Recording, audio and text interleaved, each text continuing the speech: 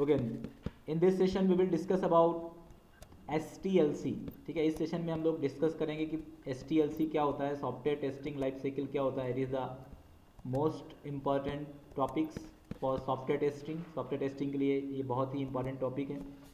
मैं आपको बताना चाहता हूँ, देखो एस टी एल सी का मतलब होता है सॉफ्टवेयर टेस्टिंग लाइफ साइकिल ठीक है? मैं आपको बताना चाहता हूँ, जैसे हमने एस डी एल सी देखा, उसके एस डी एल सी में हम डेवलपमेंट के फेस डिसाइड करते हैं। एस टी एल सी में हम टेस्टिंग का फ़ेज़ डिसाइड करते हैं। मतलब टेस्टिंग की टीम कैसे स्टेप बाय स्टेप वर्क करती है, इसको हम बोलते हैं एसटीएलसी ठीक है? ये it is a defined a sequence of activities ठीक है? जैसे अपन अपन एसडीएलसी के अंदर अलग अलग एक्टिविटीज़ डिफाइन करते हैं, वैसे एसटीएलसी में भी टेस्टिंग की एक्टिविटीज़ डिफाइन होती हैं। ठीक है? और ये जो एक्टिविटीज़ के थ्रू ही हम क्या कर सकते हैं? डिफरेंट डिफरेंट टाइप के प्रोसेस को इम्प्लीमेंट कर सकते हैं।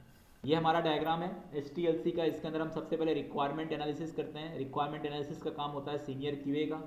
फिर हम टेस्ट की प्लानिंग करते हैं कि भाई हमें टेस्ट में कितना टाइम लगेगा, कितना कॉस्ट एस्टिमेशन होगा किस किस टाइप के टेस्टिंग की ज़रूरत होगी।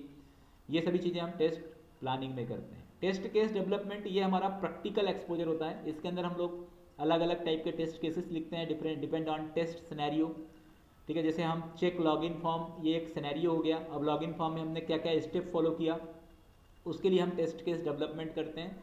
टेस्ट केस डेवलपमेंट हम एक्सेल फ़ाइल में भी कर सकते हैं। और कंपनी अपनी अलग अलग फॉर्मेट फ़ाइल भी देती है। अलग अलग कंपनी में अलग अलग फॉर्मेट फाइल्स होते हैं अलग अलग सॉफ्टवेयर टूल्स होते हैं, जहाँ हम टेस्ट केस को डिप्लाई कर सकते हैं टेस्ट केस को लिख सकते हैं।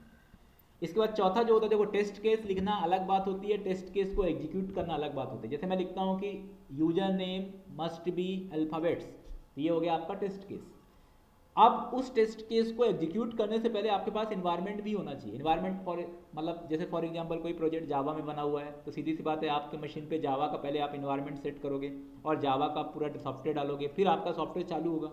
इन्वायरमेंट सेटअप का मतलब ये होता है कि किसी भी सॉफ्टवेयर को एग्जीक्यूट करने के लिए जो उसके इंटरनल सॉफ्टवेयर पैकेजेस की रिक्वायरमेंट होती है, उसे बोलते हैं इन्वायरमेंट सेटअप करना। जैसे फॉर एग्ज़ाम्पल आपका एक एप्लीकेशन डॉट नेट में बना हुआ है तो आपको इन्वायरमेंट सेटअप के लिए विजुअल स्टूडियो की ज़रूरत पड़ेगी। फॉर एग्ज़ाम्पल आपका एप्लीकेशन पीएचपी में बना हुआ है पीएचपी के लिए आपको पीएचपी के इन्वायरमेंट सेटअप करना पड़ेगा। That is called environment setup इसके बाद टेस्ट एग्जीक्यूशन होता है। एग्जीक्यूशन में क्या आता है? देखो, जब हम टेस्ट केस डेवलपमेंट करते हैं तो हमारे पास सिर्फ़ एक्सपेक्टेड रिज़ल्ट का कॉलम होता है। जब हम टेस्ट एग्जीक्यूट करते हैं तो हमारे पास एक्चुअल रिज़ल्ट का भी कॉलम आ जाता है।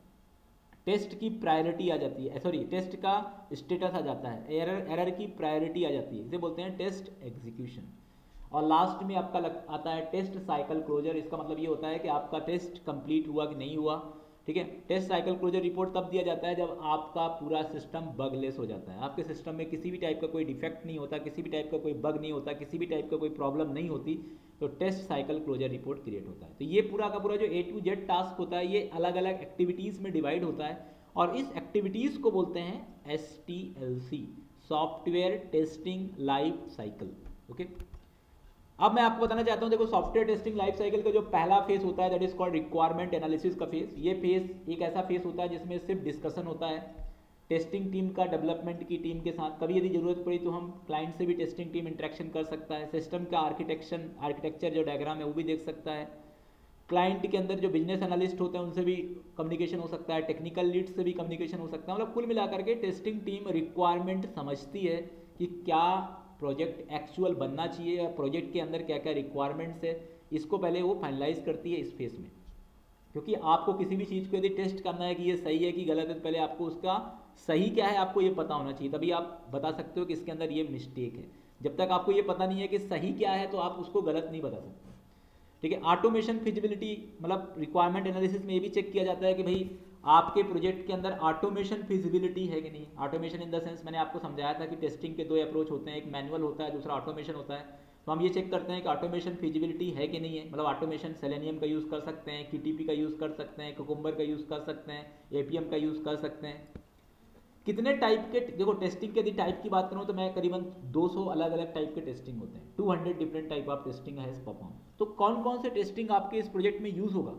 That thing is also the part of requirement analysis इसके बाद कौन से टेस्टिंग को पहले करना है, कौन से टेस्टिंग को बाद में करना है, कौन सा फेस अभी बहुत ज़रूरी है, कौन सा फेस कम ज़रूरी है, कौन सा फेस बाद में होगा, ये चीज़ों को गैदर करने का काम भी रिक्वायरमेंट एनालिसिस का होता है। This is called gather details about testing priorities and focus okay this point RTM requirement traceability matrix बनाना। मैंने आपको बताया भी था रिक्वायरमेंट ट्रेसिबिलिटी मैट्रिक्स एक पूरी तरह से इंडेक्स होता है, किसी भी टेस्टिंग का। उसके अंदर functional requirement documents business requirement details साथ में आपके टेस्ट सनेरियो कितने हैं, कितने टेस्ट केसेस हैं, कितने टेस्ट केस पास हुए, कितने फेल हुए, उन पूरी इन्फॉर्मेशन आर में रहती है।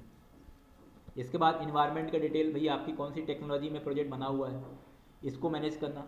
ये सभी चीज़ों का काम जो है, वो पूरा का पूरा रिक्वायरमेंट एनालिसिस का होता है। तो जैसे एस में रिक्वायरमेंट एनालिसिस बिज़नेस एनालिस्ट करता है रिक्वायरमेंट एनालिसिस का पार्ट जो है बहुत ही पर्टिकुलर आपका बहुत ही कॉम्प्लेक्स पार्ट है या बहुत ही यूजफुल पार्ट है, इसलिए इसको क्यूए का प्रोफ़ाइल होता है क्वालिटी एनालिस्ट प्रोफ़ाइल या सीनियर क्वालिटी एनालिस्ट प्रोफ़ाइल के जो कैंडिडेट होते हैं कंपनी में, वही रिक्वायरमेंट एनालिसिस पे काम करते हैं।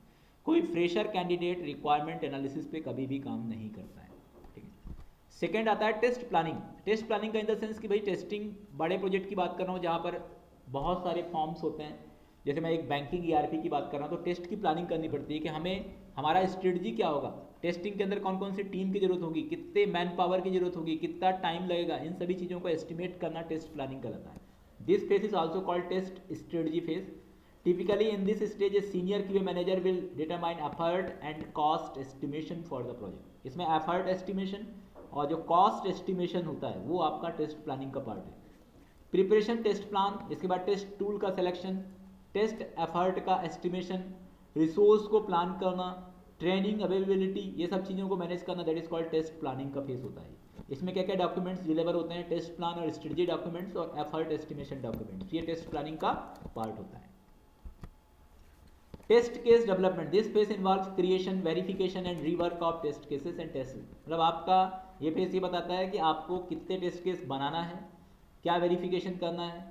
ठीक है test case development in the sense कि आपका पर्टिकुलर स्टेप बाय स्टेप जो भी आपको टेस्टिंग करना है, उसको एक फ़ाइल के अंदर लिखना। That is called test case development इसके अंदर क्या होगा आपका? बनाना वेरीफाई करना रिवर्क ऑफ़ टेस्ट केसेस वापस से आपका टेस्ट केसेस में क्या क्या आपको मैनेज करना है। यदि आप ऑटोमेशन टेस्टिंग करते हो तो उसके लिए आपको टेस्ट स्क्रिप्ट बनाना पड़ता है। क्या क्या टेस्टिंग का डेटा होगा? जैसे आपको ईमेल टेस्ट करना है तो कौन कौन से ईमेल आपको टेस्ट करना है? पासवर्ड टेस्ट करना है कौन कौन से कॉम्बिनेशन के पासवर्ड आपको टेस्ट करना है? ये टेस्ट डेटा का पार्ट होता है। एक्टिविटीज़ क्या क्या करना है इसमें? टेस्ट केसेस बनाना। ऑटोमेशन स्क्रिप्ट यदि आपका ऑटोमेशन होगा तो। Review and baseline test cases review करना टेस्ट केसेस को कि ये सही है कि गलत है। क्रिएट टेस्ट डेटा यदि जो भी आपको टेस्टिंग करना है, इसमें कौन कौन से डॉक्यूमेंट्स देने पड़ते हैं? टेस्ट केस डॉक्यूमेंट्स और टेस्ट डेटा डॉक्यूमेंट्स ठीक है टेस्ट केस डेवलपमेंट मैंने इसके पहले सेशन में बताया हुआ है। आप एक्सेल फ़ाइल में देख सकते हैं कि कौन कौन से पैरामीटर्स होते हैं। मैं आपको एक बार फिर से रिवाइज कर देता हूँ कि टेस्ट केस जब भी हम बनाते हैं तो टेस्ट केस की की सीट जो होती है, उसमें पहला होता है टेस्ट स्टेप दूसरा होता है टेस्ट स्नैरियो तीसरा होता है टेस्ट डेटा चौथा होता है एक्सपेक्टेड रिज़ल्ट पांचवा होता है एक्चुअल रिज़ल्ट छठवा होता है टेस्ट स्टेटस फिर इसमें आता है टेस्ट प्रायोरिटी या एरर प्रायोरिटी इसके बाद टेस्टर कमेंट्स डेवलपर कमेंट्स ये सभी कॉलम्स उसके अंदर होते हैं।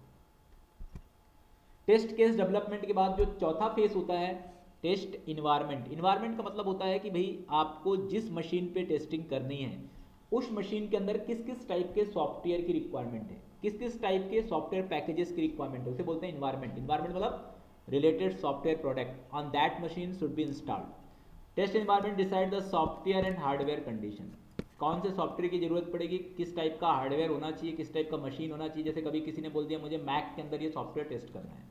तो आपको चेक करना है कि भाई मशीन आपका मैक होना चाहिए। उसमें मैक ओएस क्या होना चाहिए, डला हुआ होना चाहिए।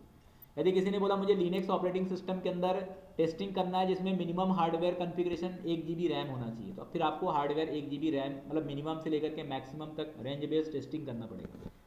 Under which a bird project testing test environment setup is one of critical aspect of testing process ठीक है टेस्टर्स के लिए इन्वायरमेंट बनाना थोड़ा क्रिटिकल होता है तो कभी कभी डेवलपमेंट के थ्रू या सपोर्ट टीम के थ्रू भी टेस्ट इन्वायरमेंट सेटअप पे हम हेल्प ले सकते हैं, ठीक है?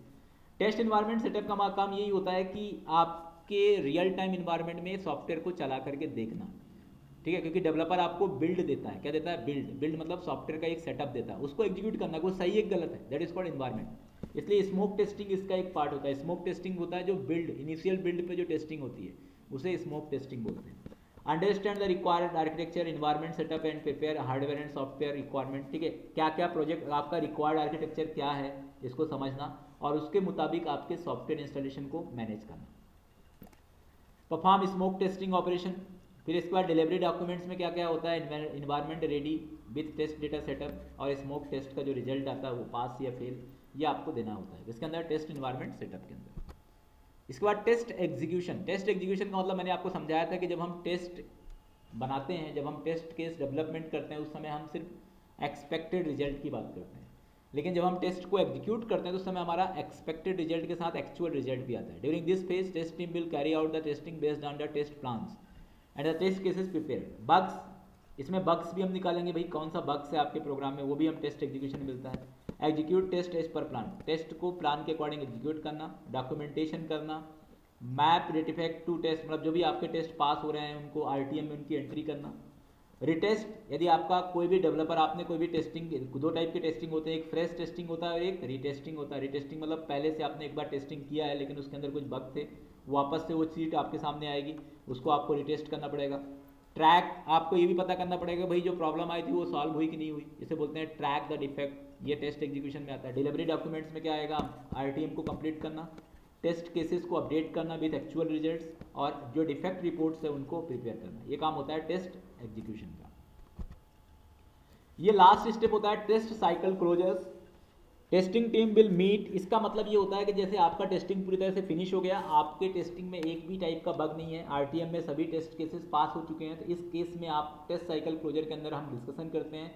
कि हमारे प्रोजेक्ट में क्या क्या प्रॉब्लम्स आई, हम अपने प्रोजेक्ट के परफॉर्मेंस को और कैसे टेस्टिंग के परफॉर्मेंस को क्या और कैसे बढ़ा सकते हैं, ठीक है? हमारे प्रोजेक्ट के अंदर सबसे क्रिटिकल पॉइंट्स क्या थे टेस्टिंग में? उन सब चीज़ों को एनालाइज करना। ये टेस्ट साइकिल क्लोजर के अंदर होता है।